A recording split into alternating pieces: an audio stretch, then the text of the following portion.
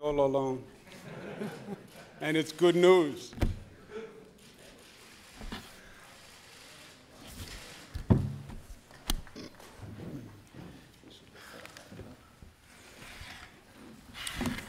It's comfy. Stand up. Yes. Before them sit down. Okay, we'll be joined by uh, Mylan Denerstein shortly. Thank you all very much for taking the time to come down. I'd like to welcome the members of the Senate the members of the Assembly who are here today, uh, as well as the uh, legislative leaders who you'll hear from in a moment. Uh, We have good news. Uh, We have reached agreement on a uh, piece of legislation that we believe will uh, be significant in our fight and effort and struggle against heroin. It is probably the top priority for the end of this legislative session. I know it is uh, a bill that's been the top priority for me. Uh, I believe I speak for my colleagues when I say the same thing. Uh, This is a terrible problem that is facing the state.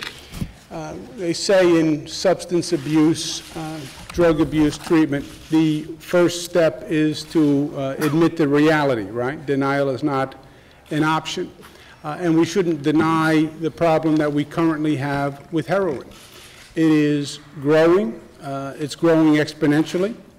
Uh, New York is, has a much more aggravated problem than the rest of the country. The numbers in New York are worse, the numbers in the Northeast uh, are worse than the rest of the country. One-third of all the seizures of heroin were in the state of New York nationwide. Uh, It's also uh, worse in some ways. People say, well, we had heroin in the 60s and 70s. This heroin epidemic is worse than the heroin epidemic in the 60s and the 70s. The drug is more potent. The drug is less expensive. You're talking about $5 bags, $10 bags. It's more addictive. It has affected younger people. 60s, 70s, heroin average age uh, for the user was 28 to 30 years old. This is uh, late teens and getting younger as time moves on. So it is a significant problem for, uh, for sure. This legislation does a number of things. First of all, uh, it makes it uh, easier for an individual to get treatment because it makes it easier for insurance companies to actually cover the treatment. There's been a lot of confusion with insurance companies uh, not covering treatment for her- heroin uh, and opioid addiction, um, or disputing coverage, uh, and making treatment much harder and much less accessible for an individual. Uh, By this piece of legislation, the state will issue a definition of what is medically necessary, and there'll be one standard definition of what is med- medically necessary. So insurance companies frankly can't play games and decide who gets treatment and who doesn't get treatment.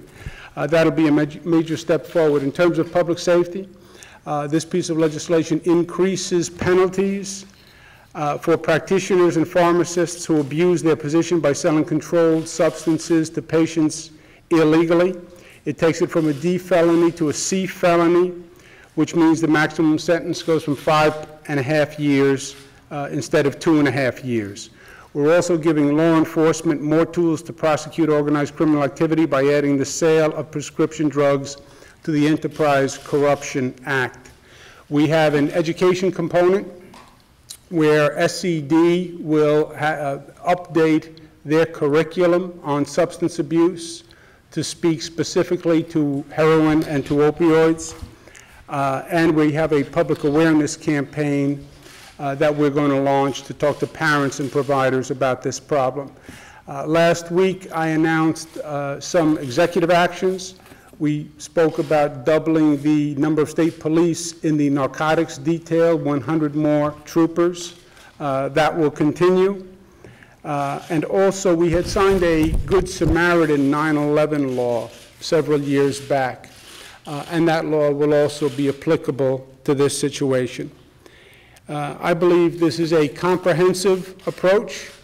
It has a public safety component, also has a public health component, also has a public awareness campaign. Uh, I think you put this together with the actions of the state police, who have already been doing great work on this issue, and I think uh, the state will have a very, very comprehensive approach. Uh, We have to remember that government is not always the answer, right? Government is not going to solve the heroin problem. It takes all of us, its parents, its friends, its peers, its community leaders, uh, but we are doing our part. I want to uh, applaud the sponsors of this bill, who worked very hard. This was not an easy agreement to reach. I'd like to applaud the legislative leaders, uh, who also worked very hard. It's a complex topic. There were very strong opinions, and compromise uh, is always right in concept, but it's difficult to reach in practice. Uh, So I want to thank the legislative legislative leaders once again uh, for their good work. And with that, I'll turn it over to uh, Senate Co-Leader Dean Skelos. Thank you very much, Governor. As we all know, the heroin crisis affects families in every community of our state.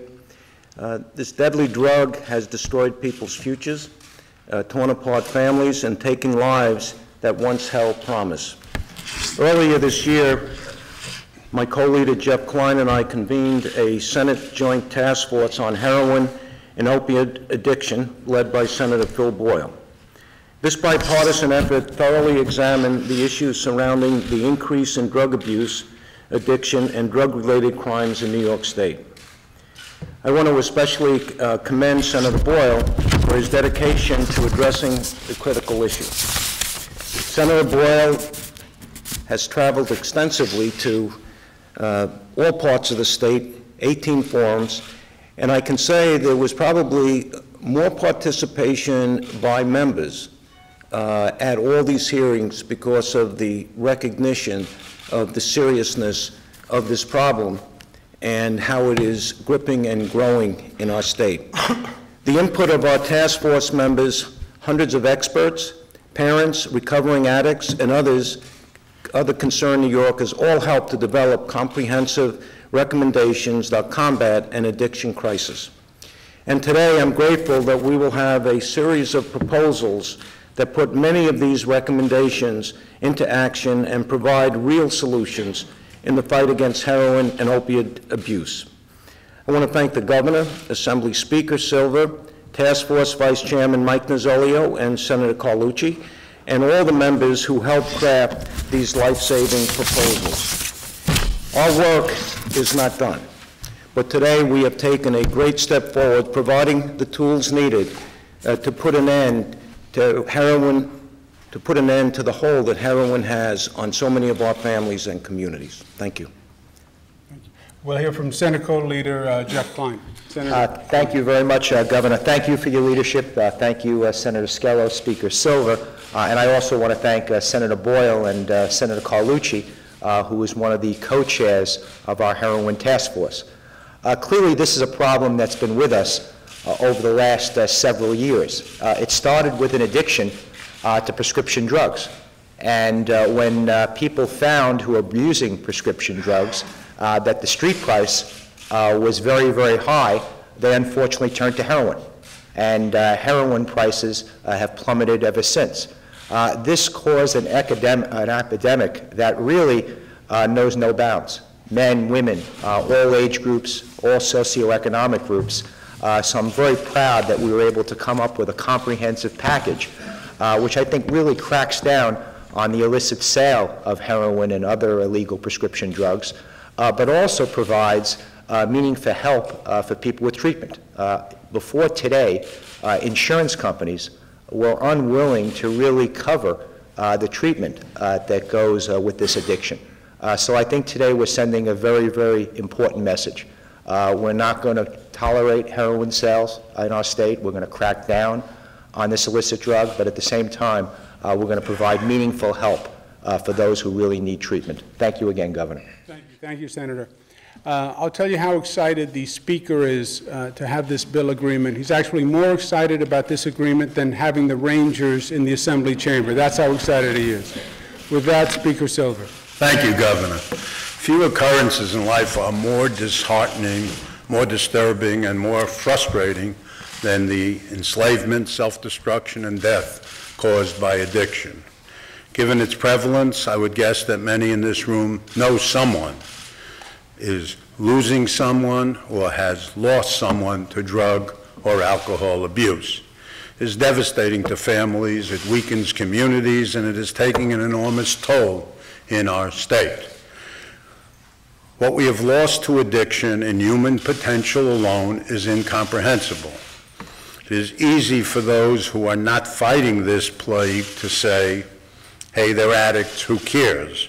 Let them self-destruct. We care.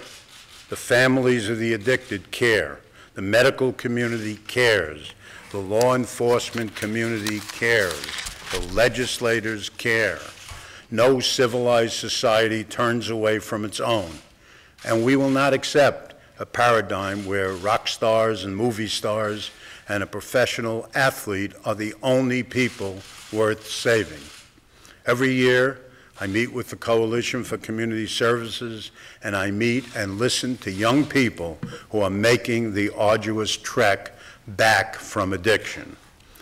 It is a fight that can be won individual by individual with education, with prevention, with efforts to reduce the stigma associated with drug treatment.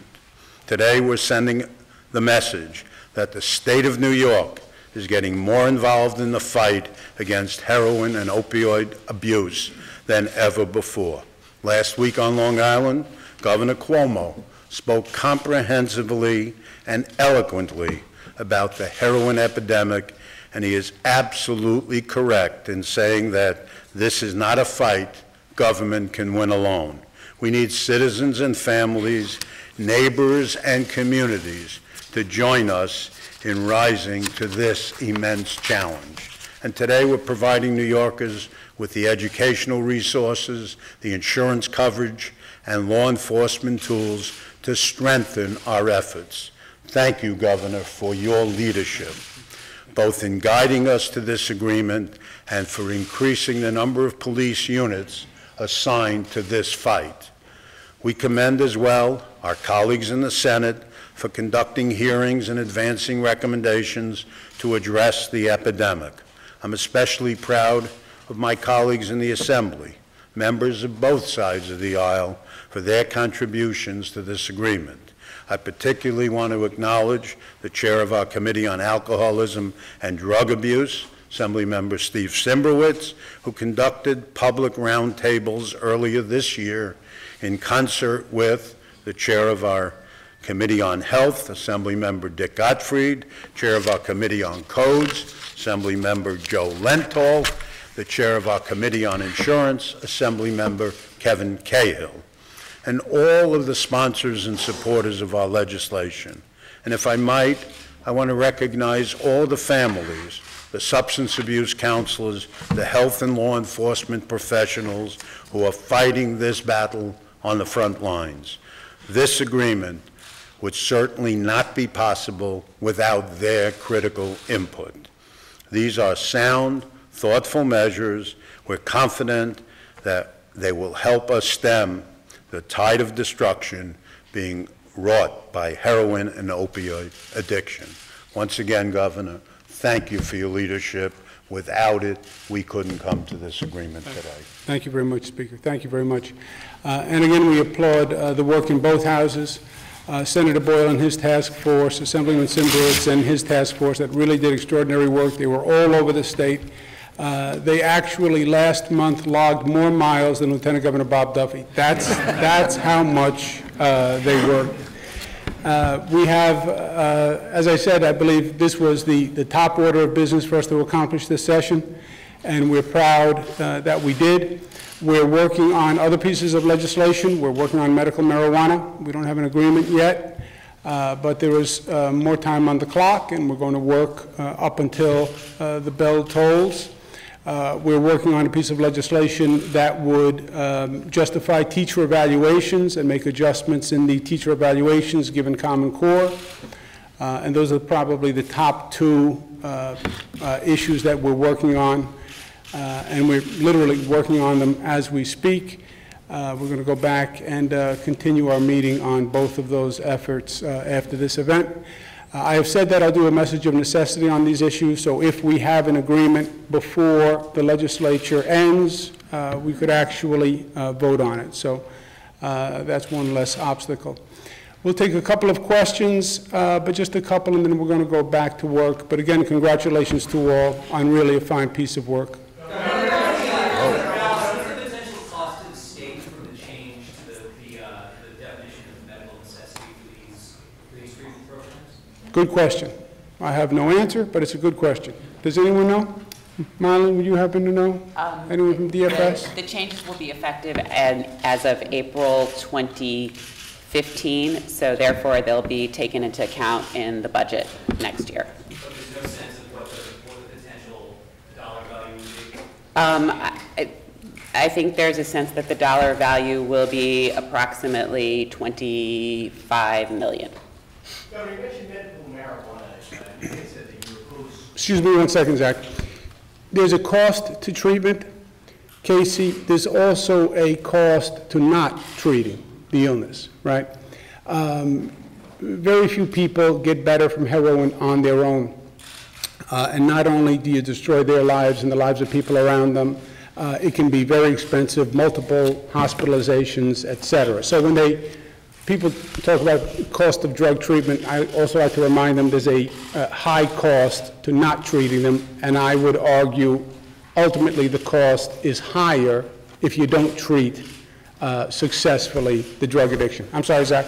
Hey, You talked a little bit about medical marijuana, I know negotiations are are ongoing. You said that you were opposed to smoking the drug. Are you pliable at all on that?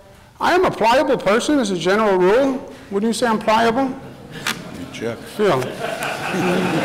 Very pliable. I am a veritable Gumby. Uh, So yes, as a general rule, I am pliable. I didn't mean that as a joke. That's a good thing.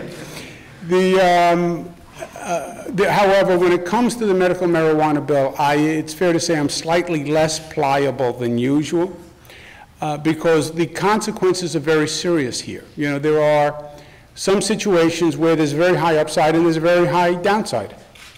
And medical marijuana, if you do it right, you can help thousands of people literally who are in terrible, desperate situations.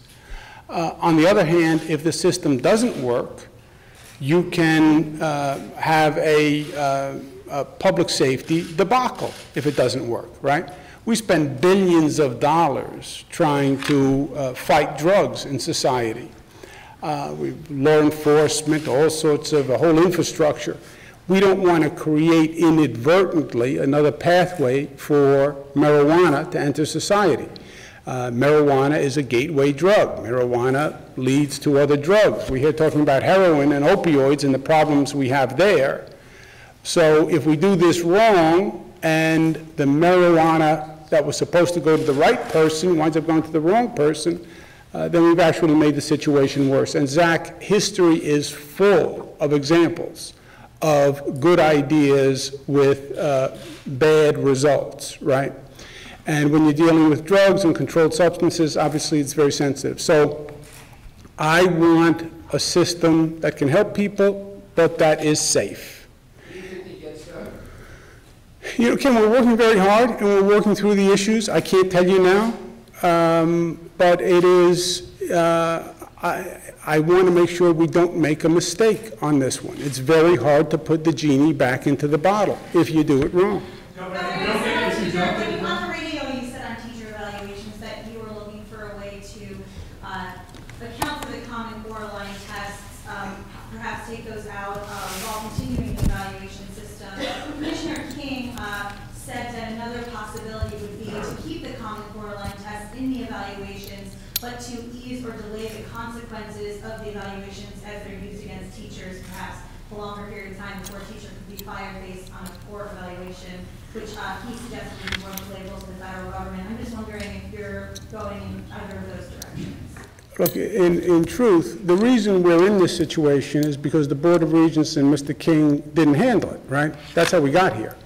Uh, These are problems that have developed from the improper uh, rollout of Common Core, in my opinion. Uh, And we addressed the issues with the students, and now we're trying to address the issues uh, with the teachers. So that's the only reason we are where we are. This is not an issue that the legislature would have been dealing with if it had been handled properly by the Board of Regents. Governor, have you and uh, legislative leaders had any further discussions on campaign finance, or is that a topic off the table? We have not. Um, There are a number of uh, corrections primarily from the budget uh, document that was prepared and done. You know, doing the budget uh, is a a feat of uh, logistics and operations, and uh, some items uh, inadvertently dropped out of the budget on a technical level, and that's primarily what the bill is about. Uh, There may be some stray cats and dogs uh, that we may be looking to work on also, but it's primarily a technical correction bill. No, not at this point. We don't have a bill either at this point. Yeah, well, we're not discussing any specific bill, just a number of issues, and we don't have... Well, They're just, uh, they're premature because they're just discussions at this point with one house or the other, and we have no agreement and no bill, uh, and I'm not optimistic that we'll have one uh, in any event. It depends what's in the bill. Um, how much input or, uh, discussion have you had with the U.S. Department of Education on, on that issue?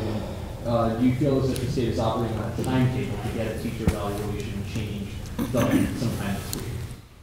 The, Nick, the teacher evaluation system, we have the timetable. We said when we applied for the Race to the Top funds uh, years ago, as a condition to accepting the Race to the Top funds, that we would implement the teacher evaluation system. So that was the timetable. That, by the way, predates me.